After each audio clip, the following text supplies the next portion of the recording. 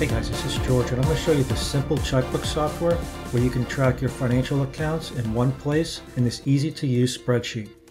Just enter your transactions into the individual account registers or you can copy them in bulk to save time. You can filter the transactions in the registers and get subtotals and there's great tools that make reconciliation very easy. And you can split transactions into multiple categories to better reflect your income and expenses. And once your data is in the registers, the automatically generated dashboards help you visualize your income and your spending. With additional dashboards, you can compare this year to last year for any category and create customizable pivot table reports to customize the software to your specific financial needs. Drill down into your spending to see where your money is going. Dynamic slicers to focus in on specific accounts.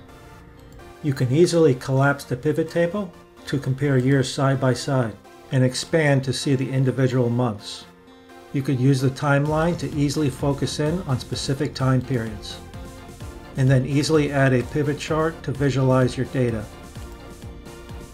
where then you can easily zoom into specific time periods and even specific accounts.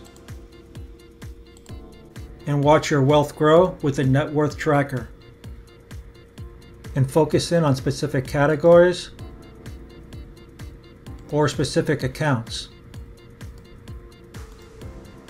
And easily change the chart type to visualize your data in a totally different way.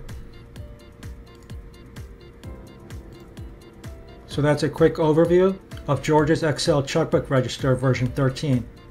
And if you're interested in the product, there'll be a link in the description where you can go directly to the product page and find out more information.